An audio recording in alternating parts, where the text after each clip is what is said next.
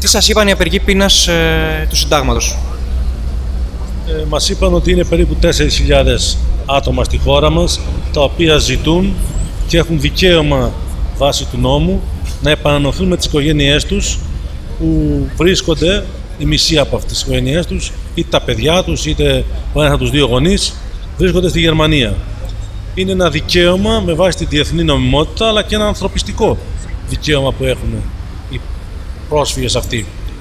Ε, δυστυχώς η Γερμανία έχει μια αρνητική στάση, ε, δημιουργεί συνεχώς προβλήματα, δεν λέει όχι ρητά, αλλά προβάλλει ε, τόσα εμπόδια που δυσχεραίνουν την ε, αναχώρηση των ανθρώπων αυτών από την Ελλάδα για να επαναληφθούν με τις οικογένειές τους και η ελληνική κυβέρνηση δεν φαίνεται να μπορεί να κάμψει αυτή την γερμανική αδιαλαξία ε, δεν φαίνεται ότι έχει αναλάβει πρωτοβουλίες να παρουσιάσει και σε διεθνές επίπεδο αν δεν μπορεί σε διμερές ε, αυτό το πρόβλημα το οποίο επαναλαμβάνουν είναι πρόβλημα δημοκρατίας, διεθνούς νομιμότητας και ανθρωπιστικό.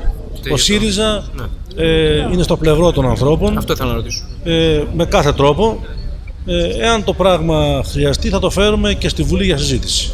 Την ίδια στιγμή με την άνοδο της ακροδεξιάς στη Γερμανία, φαίνεται ότι η στάση της στο προσφυγικό έχει σκληρύνει και αναμένεται να σκληρύνει περισσότερο. Και να μην καμφθεί δηλαδή αυτή η άρνησή της να δει τα δικαιώματα αυτών των ανθρώπων. Πώς θα το σχολιάζαμε αυτός εκτίμη. Υπάρχει αυτός ο κίνδυνος που αναφέρεται, αλλά υπάρχει και από την άλλη ε, η δύναμη μιας δημοκρατικής απέτησης και ενός αγώνα. Υπάρχει διεθνής νομιμότητα, ο ανθρωπισμός και η δημοκρατία. Συγκρούονται αυτά με τις ακροδεξιές παρεκκλήσεις στον χώρο και της Γερμανίας και γενικότερα της Ευρώπης. Γι' αυτό είμαστε εδώ, μαζί με τους ανθρώπους, να βρούμε κάποιες λύσεις. Και ως ΣΥΡΙΖΑ ποιο μήνυμα στέλνουμε, στέλνετε από το Σύνταγμα σήμερα; Ε, εγώ θέλω να πω ότι εδώ υπάρχουν ε, γυναίκες και μικρά παιδιά και είναι απαράδεκτο να υπάρχουν οικογένειες που οι μισοί γονείς είναι στη Γερμανία και οι γυναίκες και τα παιδιά βρίσκονται εδώ πέρα προστάτευτα.